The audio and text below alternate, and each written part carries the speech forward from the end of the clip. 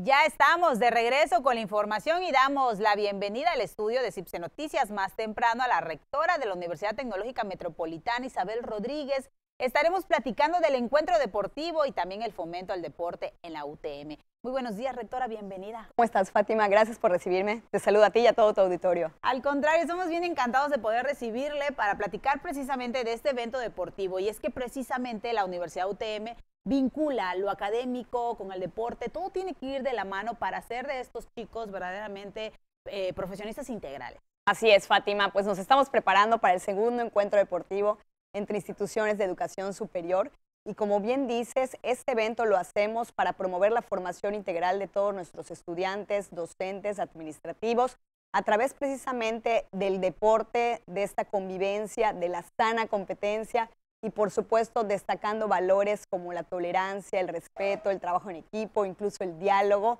y pues así contribuir a la formación integral de nuestros chicos y chicas.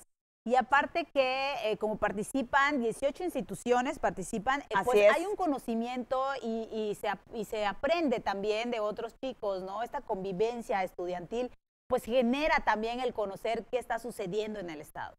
Sí, Fátima, ya están inscritas 18 instituciones de educación superior.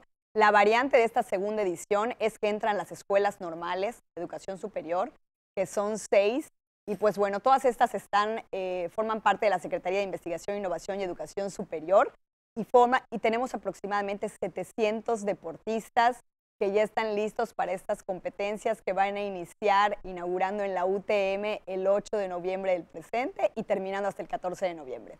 ¿Qué, deportes son los que están participando? Mira, está el fútbol soccer, está el básquetbol, está el voleibol, está el ajedrez también en diferentes disciplinas. Hay equipos varoniles, hay equipos femeniles y vamos a tener diferentes sedes, no solamente en la UTM, sino que va a estar participando igual la UT del Mayab de Peto, el Instituto Tecnológico del Sur del Estado de Yucatán, que está en Oshkushkap, y también el Instituto Superior de Valladolid. Así que son cuatro sedes diferentes donde se van a estar repartiendo estas disciplinas. Oiga, rector, y luego a los chicos cuando le ofreces deportes, los motivas eh, todavía más, ¿no? Porque a, a, los chicos les gusta, a las chicas les gusta hacer deportes y el que su propia escuela, el que la propia institución esté organizando este tipo de torneos, pues qué mejor, ¿no? Sí, realmente el deporte, como en todos los ámbitos, yo creo, es algo eh, tan padre que une precisamente a, las instituciones, que nos da esta vinculación entre diferentes, ahora sí que universidades hermanas, porque los institutos tecnológicos, las universidades tecnológicas, somos todos hermanos, están repartidos en el Estado y esta es una gran oportunidad para precisamente fomentar la convivencia y que se vean los chicos y qué mejor que en este ambiente sano que todos los días propiciamos también en la Universidad Tecnológica Metropolitana. Y eso precisamente que habla de fomentar el deporte. La UTM tiene pues todas estas disciplinas donde participan, pero también hay talleres que tienen que ver con el arte, con la cultura, ¿no? Sí, Fátima, dices bien, además de las actividades eh, deportivas, tenemos diferentes actividades culturales, tenemos el taller de danza, el taller de música, el taller de artes visuales. Por comentarte un poco, en la danza se fomenta todo lo que es la cultura, los bailes típicos. En el de música, los chicos pueden aprender violín, guitarra, teclado, habilidades en el canto.